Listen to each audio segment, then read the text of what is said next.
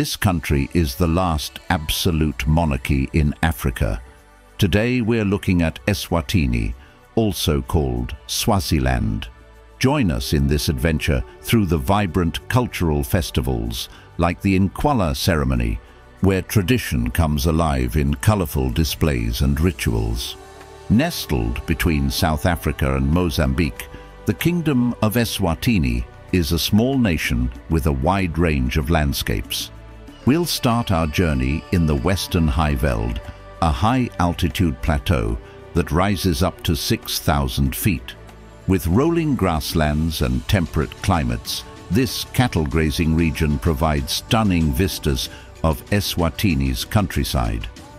In the shadow of the tall peak of Mount Bulembu, discover mountain streams, pine forests, and quaint villages.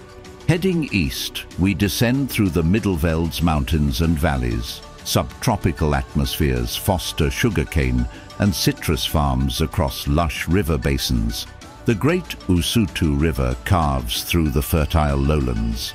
Further east, reach the Lowveld's subtropical savannas and bushlands where majestic wildlife roam.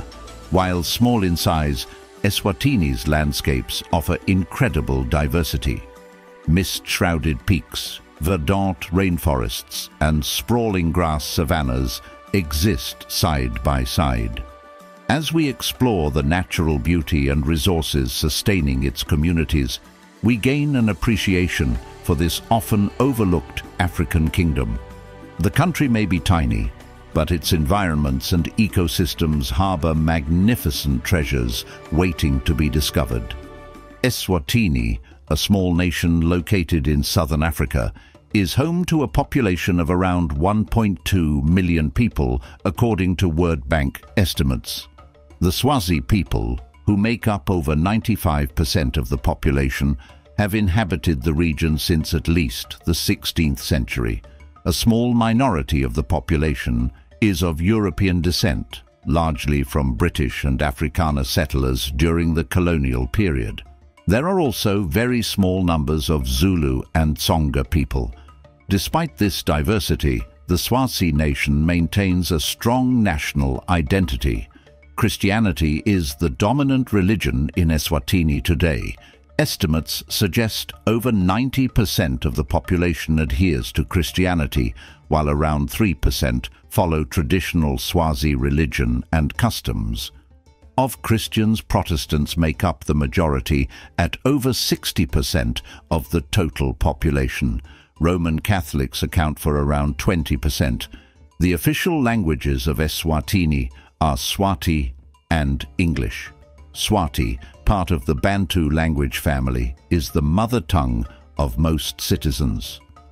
Under British colonial rule, English became entrenched as the language of government, higher education and commerce.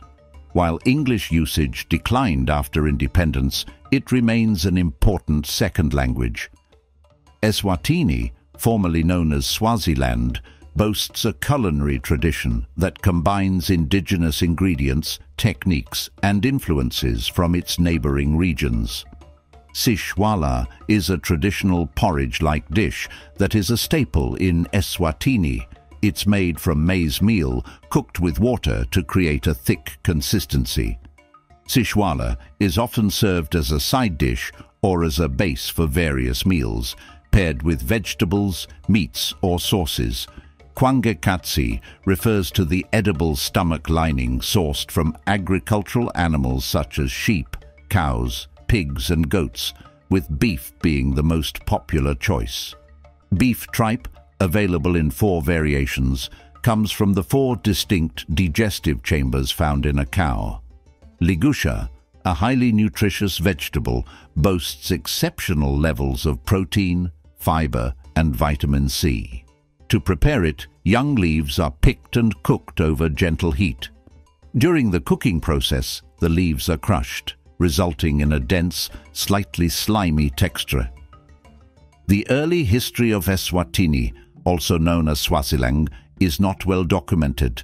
The earliest inhabitants were Khoisan hunter-gatherers. During the Bantu migrations, Bantu-speaking clans moved into the region around the 3rd century AD. The Dlamini clan was the first to settle in the area, followed by the Ndwandwe clan. These groups established the kingdom that became the nucleus of the Swazi nation. In the early 19th century, Sobhuza, the first, became king of the Swazis. He started the process of expanding Swazi territory, pushing out other clans. His successor, Mswati II, continued this expansion across the Pongola River into lands occupied by the Ndwandwe. This brought the Swazis into conflict with white settlers and the South African Republic. Despite tensions, King Mbandzeni allowed Boer farmers to settle in Swazi territory. After he died in 1889, a dispute broke out over succession. The Boers backed Mbandzeni's son, while the British supported Mswati II's young son.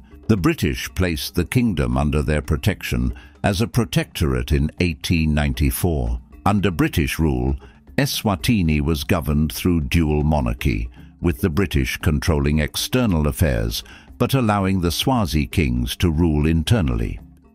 In 1921, Sobhuza II became king while still a minor. He soon began pushing for independence, which Britain rejected. Sobhuza founded the Imbokodvo national movement, which led a campaign of civil disobedience in the 1950s. Finally, in 1968, Swaziland was granted independence and constitutional rule under Sobhuza was restored. After independence, Sobhuza repealed the constitution and banned political parties in 1973. He declared himself the absolute monarch of Eswatini. Under his rule, Swaziland faced severe economic decline and government corruption. Sobhuza died in 1982, leaving behind 70 wives and over 600 children. In 1986, Mswati III took over the throne at the age of 18. He has continued his father's absolute rule while facing protests calling for democratic reforms. Eswatini has struggled with poverty, inequality and the highest HIV-AIDS rate in the world. While pro-democracy groups continue to protest for multi-party elections, reforms have been minimal under Mswati's reign. The kingdom of Eswatini may be small, but its economy has some fascinating quirks. Our journey starts with agriculture, the backbone of the country's economy. Watch farmers nurture lush fields of sugarcane, Eswatini's sweetest export. Cattle graze on the high veld grasslands, where traditional Swazi beef recipes are still cooked over open fires.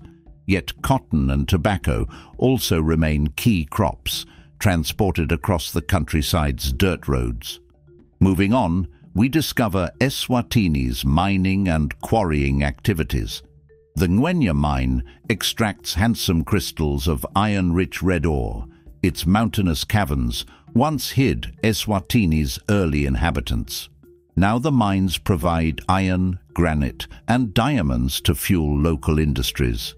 Despite lower development, Eswatini's currency is tied to South Africa's rand, bringing surprising stability.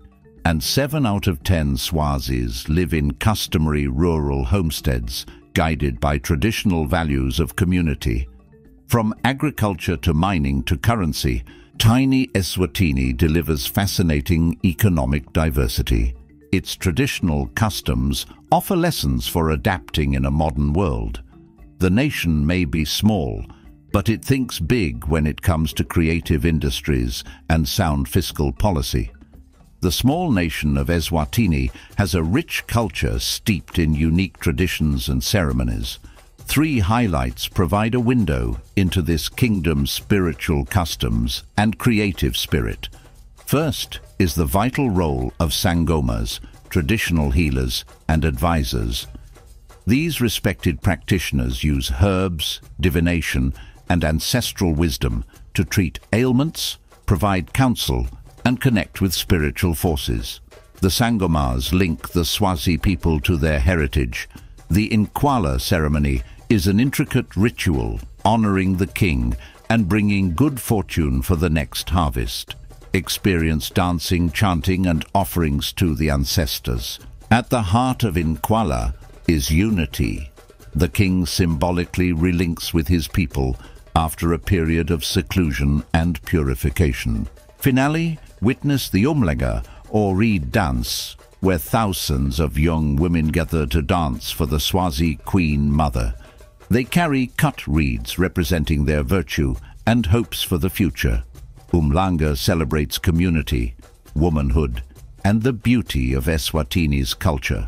From healing to harvest festivals to lively dances, Eswatini's customs reveal a social fabric rich in meaning, Spiritual practices hand wisdom through the generations, while creative arts nourish the soul. The Swazi people keep their traditions alive with joy and pride. Their culture remains vital to national identity. Experience for yourself Eswatini's captivating heritage. You'll discover a culture still very much thriving, built on foundations centuries old. A bright future can emerge when a nation takes pride in its past. If you enjoyed this video on Eswatini, you'll love this next one.